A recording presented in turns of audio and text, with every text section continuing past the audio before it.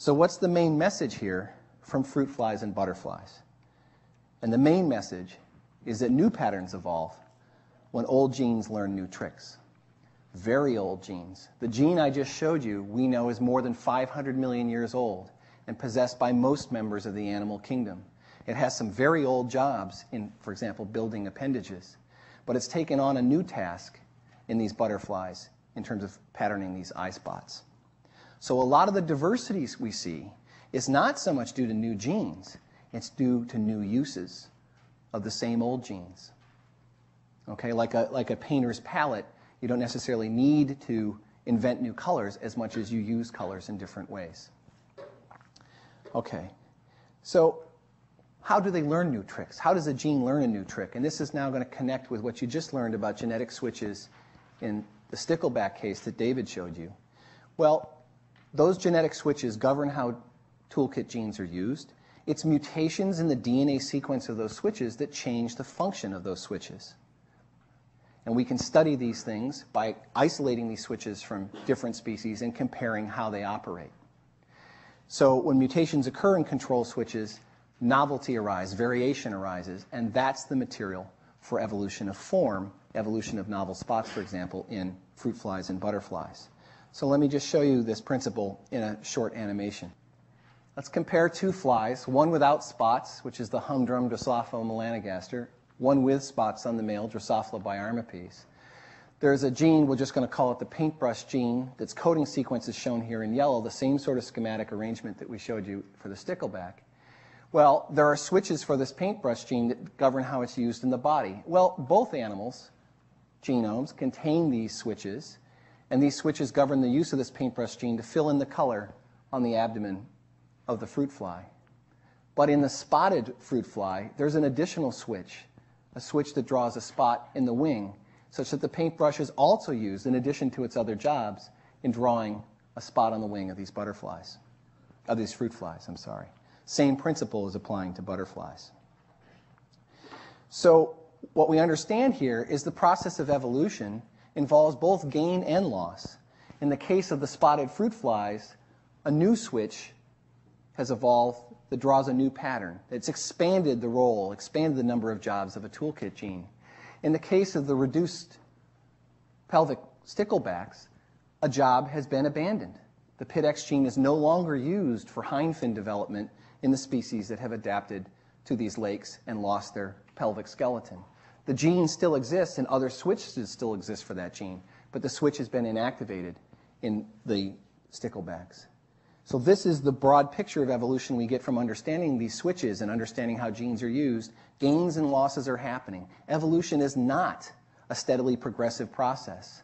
Pieces of genetic machinery, pieces of routines that are used in building animals are set aside or abandoned, other new ones evolve.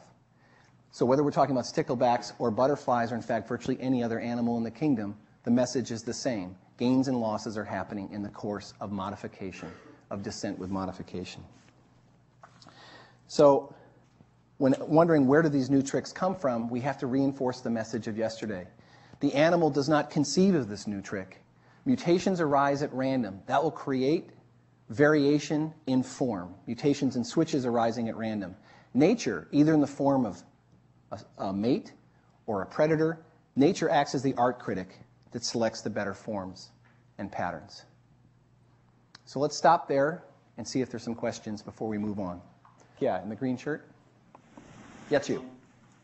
Is the switch for the hind limbs in the stickleback and for the eye spots in the butterfly, is it turned off or is it um, deleted altogether? And if it's turned off, how? Okay, so there, uh, in the case of the switch, uh, let me just explain. For the butterfly, there's a new switch there, so it's turned on. In the case of the stickleback, the switch has been inactivated. I don't think we know yet at the level of detail you're asking whether it's been inactivated by a small number of changes or by large chunks missing. That's work that's in progress right as we speak.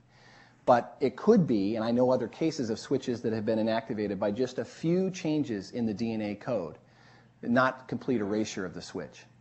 Okay, so this ought to be exciting. See if we still got an arm. Oh, it's going right. Okay. Okay, right here in the uh, white shirt.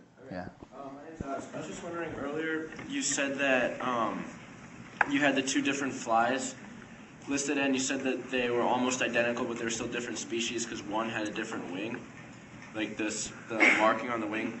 But if it's only the males that show that, then is the, are the females of both those species the same? Well, they're not exactly the same. Uh, I can tell you that these species separated from a common ancestor 15 million years ago. I'm saying from the human vantage point, they're virtually the same. Uh, flies, for example, in their courtship rituals, use lots of other cues in addition to this visual cue of extending the wings. They tap out a song, and the periodicity of that song is species specific. They also use pheromones. They, uh, they also don't necessarily inhabit the same um, habitat. So some flies will prefer rotting fruit, some will be on cactus, some will be on leaf litter, this sort of thing.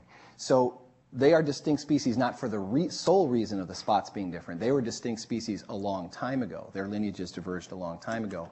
And today, if co-mixed, there are so many different cues, the males of one species would have no success with the females of the other species, if that's what you're, you're driving at. We're going to have to move on, so just save some of those questions. And thanks for that one. So we're going to move to perhaps the, the question of questions. Our species. What does all this talk of sticklebacks and butterflies and fruit flies and the fossil record and all that, what does that have to do with us?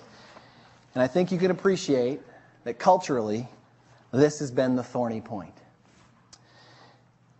You may not know that Darwin really didn't deal with the question of human origins and the origin of species. He dodged it he knew he had enough trouble coming. Uh, it was much later that he took up the, the issue of the origin of humans. But his foremost and most formidable ally, Thomas Henry Huxley, or T.H. Huxley, um, he didn't dodge it at all. And shortly after The Origin of Species, he wrote a book called Man's Place in Nature. Let me just read a brief passage.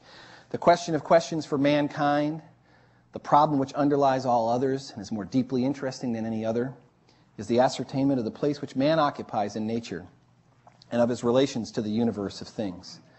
And the sketch at the bottom, you may have seen various forms of this, but that's the original frontispiece from Huxley's Man's Place in Nature. Huxley, like Darwin, had undertaken uh, a long voyage as a ship's naturalist. Unlike Darwin, Huxley grew up with very humble origins. He was a really up from the bootstrap sort of guy. He was a very intense man. He was a great scientist. He was a great anatomist, and he was a, a, quite an expert on both human anatomy and on ape anatomy. As apes started uh, arriving in England from Africa, Huxley was uh, one of the first to make lots of accurate descriptions of their skulls, their anatomy, et cetera, and understanding the relationship between apes and humans. So he took this matter of human origins head on, and soon, really almost in the same context, uh, time context as the origin of species, he had new material to think about, not just the great apes coming out of Africa and arriving in zoos or anatomy labs in England. He had fossils. So again, imagine the coincidence that David described to you the discovery of Archaeopteryx right after the origin of species. I described to you the discovery of mimicry by Henry uh, Walter Bates. Well, this fossil was dug up in 1856. It took a little while before scientists realized what it represented. But this is the original Neanderthal skull, the name, uh, the specimen for which that species is named. This was discovered in the Neander Valley in Germany. At first, uh, it was unclear what it represented. The leading German anatomist of the time did not accept evolution and reasoned away this skull as the diseased remains of a soldier from the Napoleonic Wars. But this skull was found with some bones of Ice Age mammals, mammals that were already that were extinct. So it was quite clear that it was of ancient origin, and we were looking at an ancient hominid. Now, I'm not going to walk through the whole fossil record of human evolution, but I just want to highlight a few of the most remarkable fossils so you get some sense of what